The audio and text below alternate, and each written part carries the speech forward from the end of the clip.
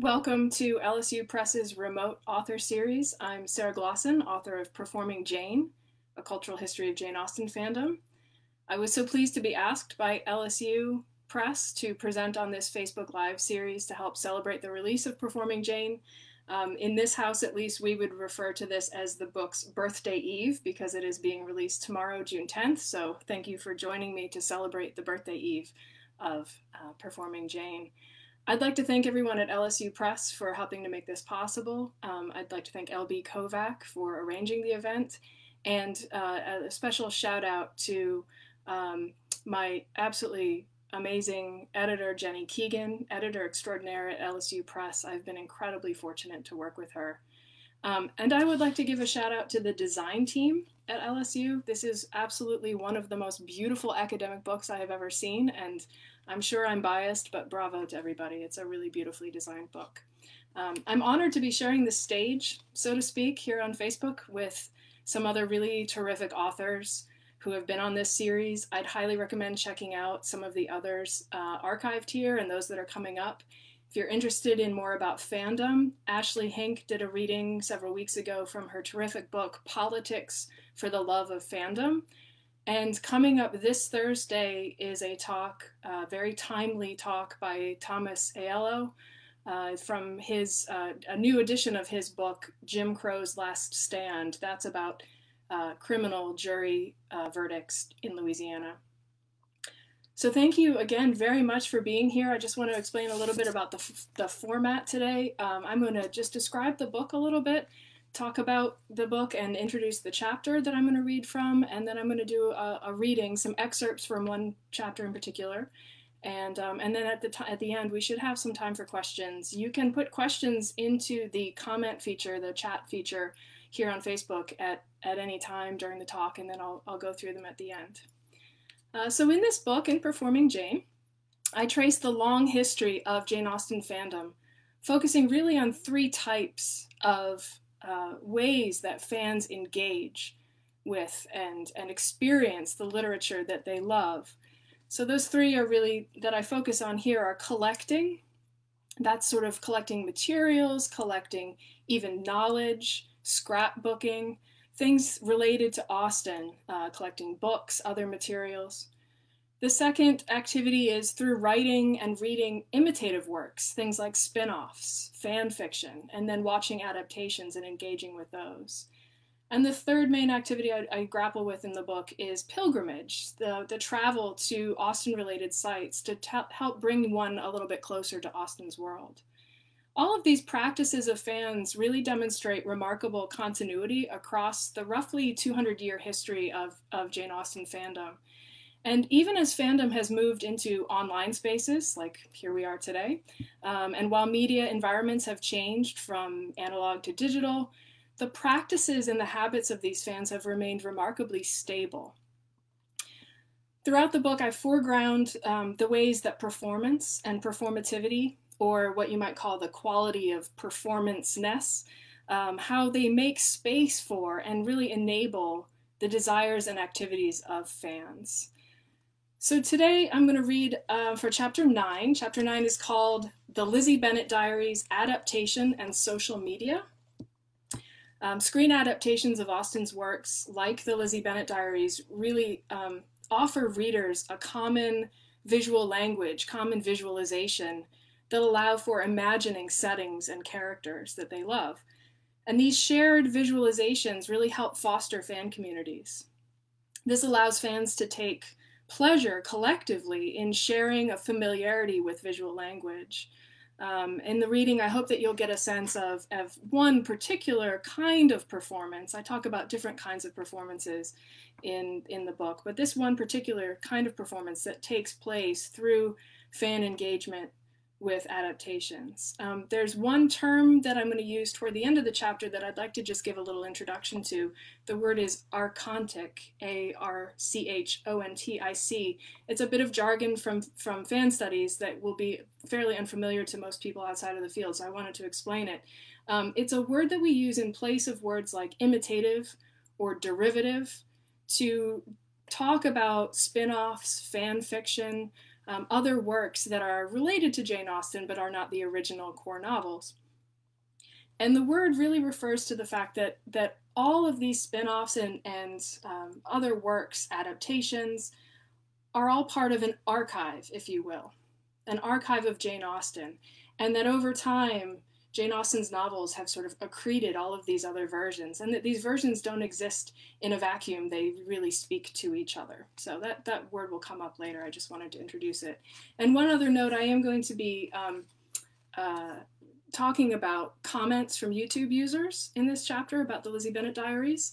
And because their handles, their screen names, tend to be words all smashed together, they don't read very well. So I'm just going to sort of generalize them, and I just wanted to footnote that.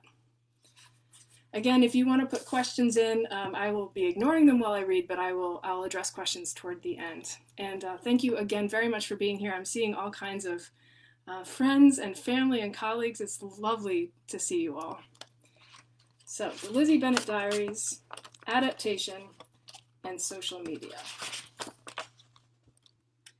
Beginning in April 2012, Pride and Prejudice was adapted for the small screen once again this time reimagined as a fictional video blog, or vlog, told from the perspective of a modern day Lizzie Bennet and released as a series of short videos on YouTube. A commercial example of transmedia storytelling, the Lizzie Bennet Diaries encapsulated the ways in which fan activities have influenced visual culture and how visual culture has influenced fan culture. Lizzie is a 24 year old graduate student studying mass communication, living with her parents, and constrained not as much by society as by overwhelming student loan debt. Released twice per week on YouTube for nearly a year, the main narrative unfolded in a series of 100 episodes, each about three to seven minutes long. The story was augmented by supplementary segments and online content that appeared throughout the year, including vlogs made by characters other than Lizzie, Twitter accounts through which the characters communicated off screen, and websites related to fictional companies and entities presented in the main narrative. The 100 episodes that reveal the main narrative are set mostly in Lizzie's bedroom and later at her internship office, where she has set up a camera to record herself discussing the goings on in her life, ostensibly making the vlog for a graduate school project.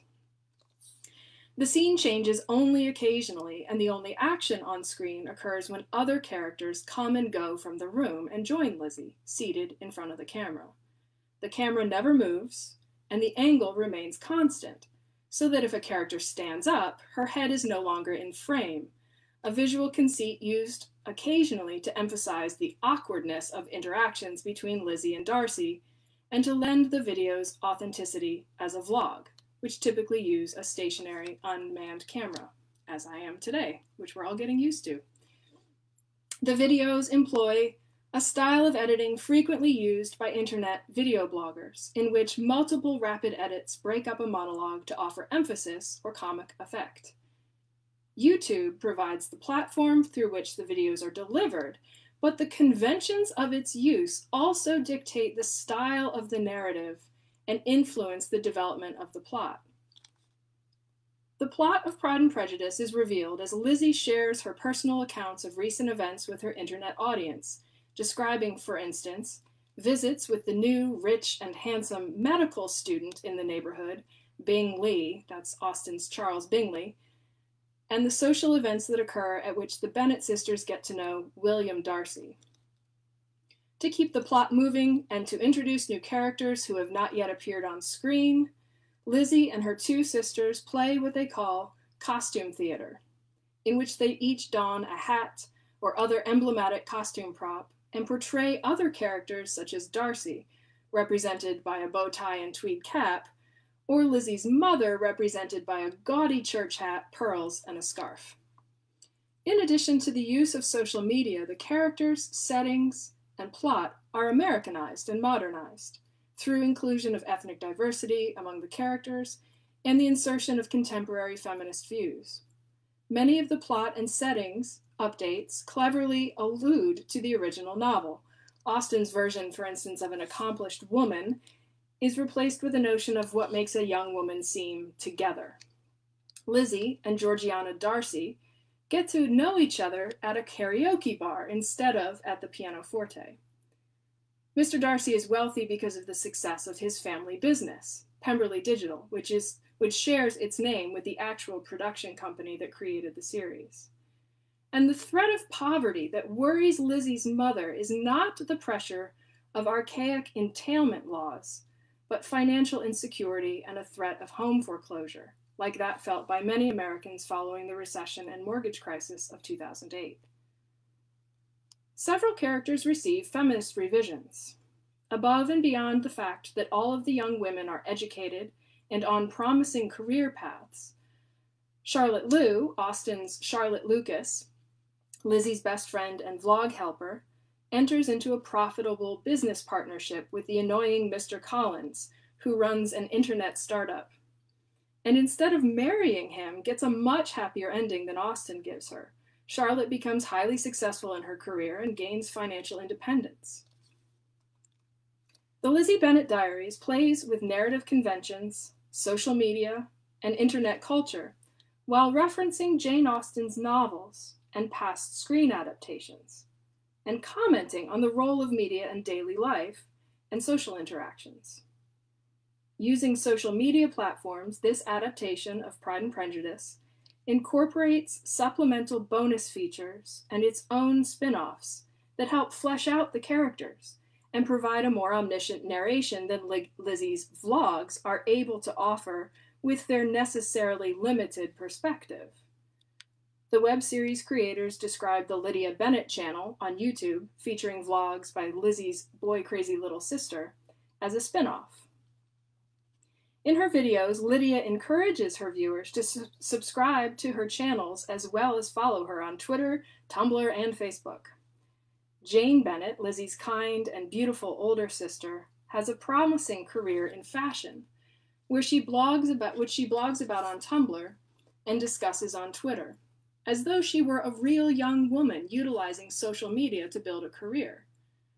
These social media accounts appear so authentic that they could easily be mistaken for the creative work of real people, were an internet user to come across them without context.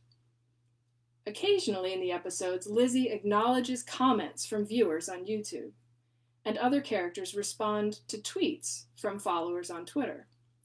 The producers created an immersive experience that fit neatly within viewers' social media browsing habits and news feeds. This was particularly effective for viewers who followed the story in real time as it unfolded online. Certain moments in particular allow the audience to appreciate the overt intertextuality of the Lizzie, Lizzie Bennet diaries. In episode 2, Lizzie refers to herself as one might in a proverbial singles ad. She says, I like rain, classic novels, and any movie starring Colin Firth. The reference to Firth immediately alerts the audience, with postmodern irony, that Lizzie, like them, is a fan of the actor who famously portrayed Mr. Darcy, even though it makes no sense within the narrative that Lizzie Bennet could have seen an adaptation of Pride and Prejudice. This allusion to Firth's portrayal of Darcy and subsequent association with Pride and Prejudice aligns Lizzie with her audience, while maintaining the illusion that she is a real person, simply documenting her life on camera. This conceit returns in episode 4 after Lizzie and her sister Lydia have met a fellow named Darcy. Wondering whether Darcy is his first name or last name, Lydia comments, Wasn't that Colin Firth's name in that Chubby Zellweger movie? Lizzie responds to this veiled allusion to Bridget Jones's diary, a loose modern reimagining of Pride and Prejudice, saying, I do love that movie. In other words, Lizzie claims to love a movie that is roughly based on Austen's novel, and, like the Lizzie Bennet diaries, is constructed as a narrative in the form of a diary. In Lizzie's narrative, it is as if Pride and Prejudice does not exist. Although she alludes to an awareness of Colin Firth and Bridget Jones, the reference merely offers an inside joke for fans without violating the closed narrative. I then go on to talk about um, visual tropes uh, that are borrowed from other film adaptations from the 1995 BBC series and from the 2005 Pride and Prejudice directed by Joe Wright, and the ways that Lizzie Bennet Diaries borrows certain visual features and alludes to things visually um, to help engage fans. And um, it's now it's time for picture time. So um, as you can see, a couple of screenshots here from at these adaptations at the top is from the Lizzie Bennet Diaries, and you can see an example of their heads being chopped off like I referred to before, um, and there's a comparison there to the 2005 adaptation. The Lizzie Bennet Diaries has engaged, in, excuse me, has engendered fan fiction of its own. Not fan fiction related to Pride and Prejudice per se, but specifically related to the Lizzie Bennet Diaries. For these fan fiction writers, it is as if the original novel does not exist. When, for instance, these stories describe secondary characters, such as Charlotte Lu or Darcy's friend Fitz, Austen's Colonel Fitzwilliam, they do not resemble Austen's character beyond the role they play in the plot. These characters function in the Lizzie Bennet diaries as they do in Austen's Pride and Prejudice, but they have lives and identities independent from those Austen imagined. Fan fiction writers have then taken these identities and expanded upon them further, so that they resemble independent characters that reflect Austen's intentions in only an attenuated manner. Comments from YouTube viewers reveal both viewing habits and what audiences enjoy most about the Lizzie Bennet diaries.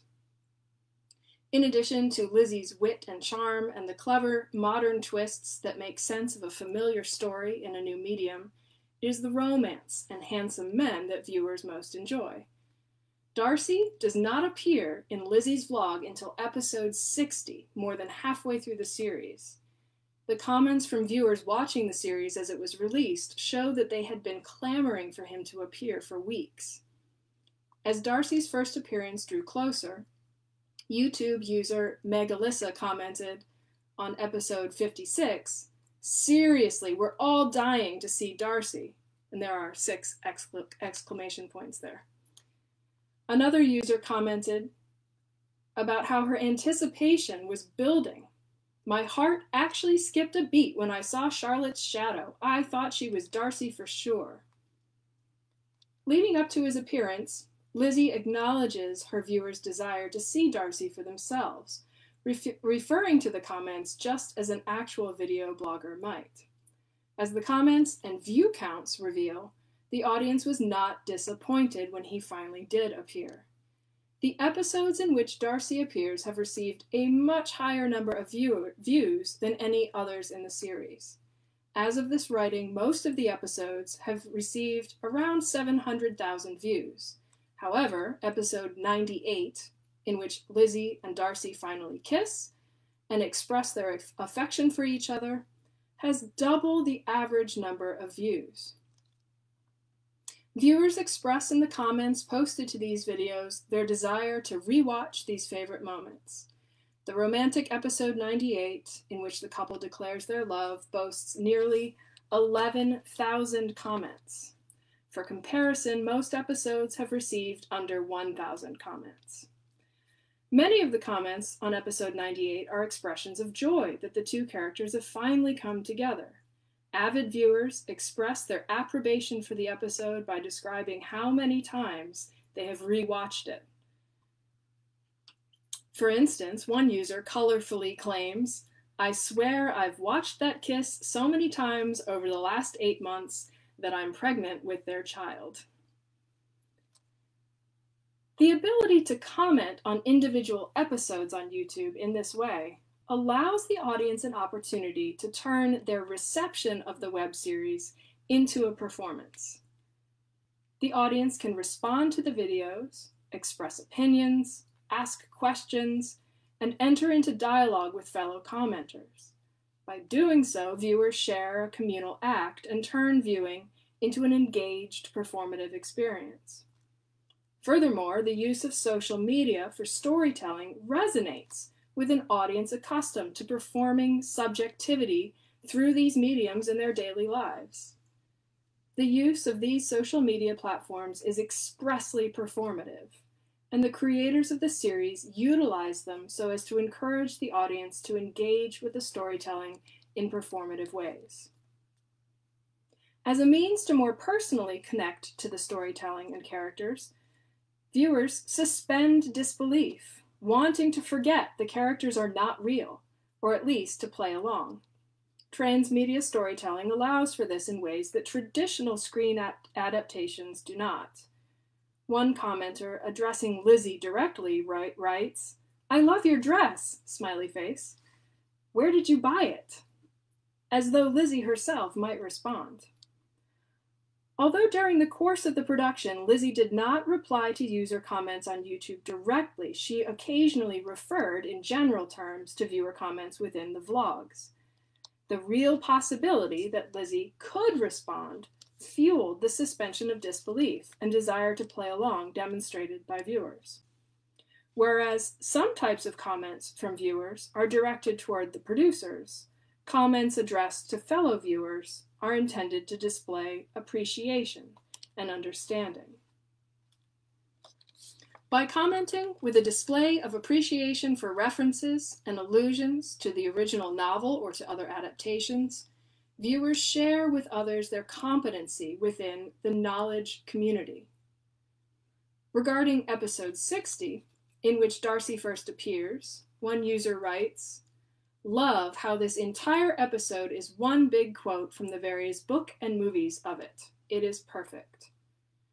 Another user notes, just discovered this series through Tumblr and I cannot stop watching. But oh my god, this scene is exactly like the 2005 adaptation with Keira Knightley, and that's my favorite version of P&P. Adaptations must, in essence, be intertextual. But especially in the case of a text such as Pride and Prejudice, any new adaptation must necessarily be aware of the indelible impression that past renditions have left on audiences. As one commenter says, I thought I'd hate Darcy in this because Colin Firth is Darcy in my mind, but I thought he was brilliant. Occasionally, YouTube viewers make comments that suggest scenes or moments they would like to imagine or see in the adaptation. This convention resembles commenting practices used on fanfiction sites to encourage and prompt writers. One user comments on a parallel between a scene in which Lizzie dances around and plays with a rolling desk chair and a moment in the 1995 BBC adaptation in which Darcy emerges from a bath and, while toweling off, glances through a window and sees Elizabeth on the grounds playing with a large dog. Another viewer, Becky, agrees with her. That's exactly what I was thinking. Now they just need to show us the clip of Darcy getting out of the shower and watching this with a hint of a smile on his face. You know, in homage to the movie, of course and we need a lake scene. Making a comment like this not only performs the commenter's affinities, but also allows others who are familiar with the 1995 miniseries to appreciate the point being made. As these comments reveal the visual aspects of this adaptation, both real and those supplied by fans' imaginations, are as crucial to the audience's experience with enjoying this telling of the story of Pride and Prejudice as in other adaptations, despite the fact that the Lizzie Bennet Diaries is rather visually static because of its setting as a vlog. For fans of this web series, the roughly eight hours of videos offers elements readers love about Pride and Prejudice humor, romance, Lizzie's cleverness, Darcy's awkward yet handsome appeal, Fans rewatch, create GIFs, and make screen captures. They write fan fiction, making archontic works to complement this already archontic adaptation. Fan studies scholars are frequently concerned with the question of what delineates the boundaries of fan fiction. A text such as the Lizzie Bennet Diaries challenges traditional understandings of fan fiction. It is an adaptation, but it is also its own text, which has both added to the archive of Austen's Pride and Prejudice and is now involved in the ongoing creation of a new archive. This is an archontic creation that has taken on a life of its own. Thanks for listening. Um, I will now take a look and see what kinds of comments have come in as I was reading. Hello, friends. Let's see. Um, LSU Press has commented that if you haven't watched the Lizzie Bennet Diaries, it is a lot of fun. It is very true.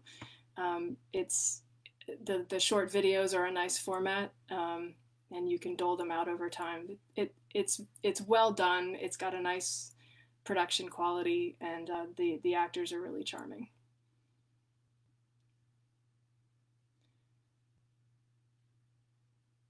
All right, here's a question. Wow, what a great question. What do you think the future holds for the Jane Austen fandom? Well, it's not going away anytime soon. We've definitely seen that there are there are moments that are um, that, that where there are clear punctuations in this fandom. Where you know the 1995 BBC adaptation really spawned a whole reinvigoration and interest in Austen and a whole slate of additional spin-off novels and um, lots and lots of fan fiction. Um, so there are moments in which something new propels new interest. Um, we're seeing that right now with this the Sanditon adaptation. Um, Sanditon was Jane Austen's unfinished novel. She left us about 11 chapters, and it was ad- adapted for television.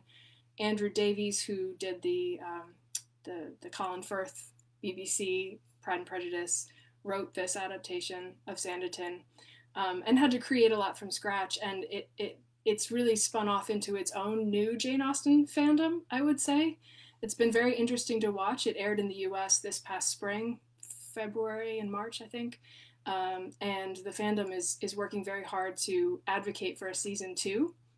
It ended, I don't want to give any spoilers, quick spoiler alert. It ends with a bit of a cliffhanger um, and not quite the happy ending that um, most Austen fans would be expecting of an Austen story so that's the future I'm watching right now is this this Sanditon fandom. I think it's a it's a it's a pretty lively fandom and has been really interesting. Um, but the more adaptations that come out, you know, we just this year we had a new adapt, film adaptation of Emma. If you haven't seen that, it's an absolutely gorgeous production. It's really beautiful.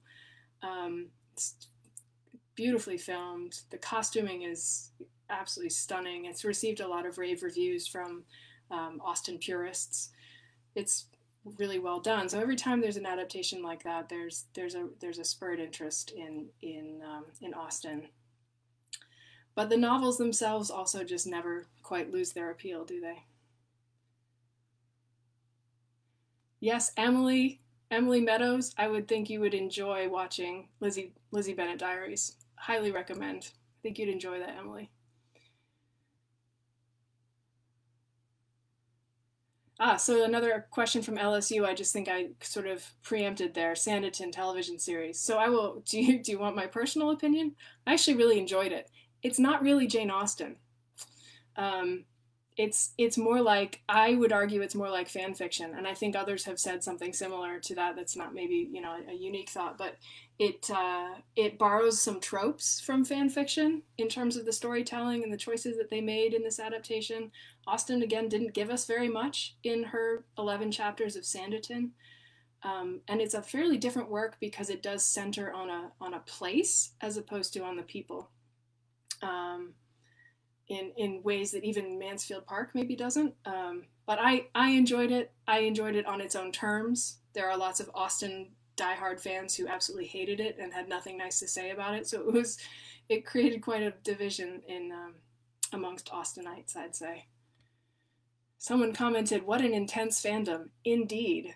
Um, but a lively bunch, and um, everyone I've ever met has been absolutely delightful and lovely. So if you love Jane Austen, seek out the fandom. There's all kinds of ways you can get involved in the fandom. There are online forums. There are, um, you know, Archive of Our Own is a is a place for fan fiction. There's another um, closed site. You have to you have to request access to it. It's called a Happy Assembly, and it's all just Jane Austen fan fiction and forums, and uh, is is quite a friendly friendly place.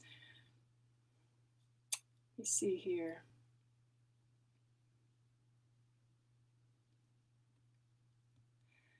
So uh, Christopher is asking, what do you think draws people, fans, to Austen's books and their multiple adaptations? So that's something I talk about in the book. I, I, theorize that very thing. Lots and lots of people, lots of Austen scholars have tackled this question of why is Austen still so relevant and still so appealing, even though the world we live in is, is quite different than the world she was living in and writing about. Um, one of the things I think that I that I talk about in the book is that um, when we enjoy a text so much, be that text a, a novel or a film or a television show, and then it ends. There's this sense of loss, and we want to go back and have more of that thing. We want more Jane Austen. There are only so many novels that she wrote, and we want more of it. And so we seek out new experiences to sort of recapture that initial thrill, that initial feeling and experience of, of falling in love with a novel and with characters and a world. And so people go and seek out adaptations, they rewatch them, they seek out fan fiction, they read these things, they read spin off novels. There's dozens and dozens of spin off novels, probably hundreds of Jane Austen spin off novels. There's a list on the internet of, of all of them. There's they're, they're legion. But the, the thing is, those things are all, many of them quite enjoyable, really, really wonderful, but they don't quite give us what we're looking for, and so we keep seeking. Um, and and I refer to this as a form of what's what's um, called by the historian uh, Joseph Roach surrogation. We're seeking a surrogate. We're seeking a replacement for something that that we've lost, and in this case, it's this experience. And we're trying to repeat the experience, and so we keep seeking it out. But as we do, that experience fails, and so we keep trying, um, and and keep repeating the the, the attempt. Um, so that's that's my answer. But read the book for for a, a longer, more articulate explanation of that.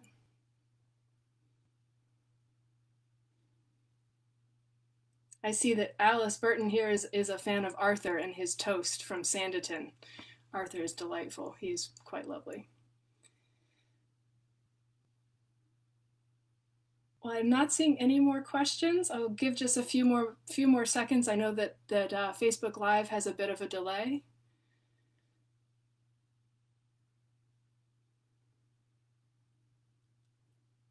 Thank you, Erin. I'm excited for my next book too.